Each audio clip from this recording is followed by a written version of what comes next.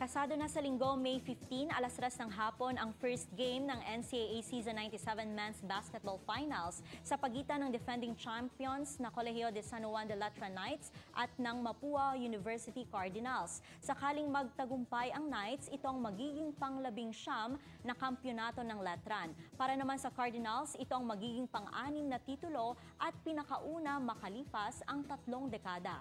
Tinatawag na Battle of Intramuros, ang Knights ay aasahang pangungunahan ng star guard na si Renz Abando kasama sina Jeyo Ambohot at Fran Yu. Samantalang dadalhin naman ni Warren Bonifacio, Arvin Gamboa at Paulo Hernandez ang opensiba ng Cardinals. Ang Game 2 ay nakaschedule sa May 22, samantala ang Game 3 naman ay ang May 29 kung kakailanganin pa. Mapapanood ng live ang mga laro simulcast sa GMA at GTV. Pwede rin itong panoorin sa live streaming ng GMA Sports It's PH.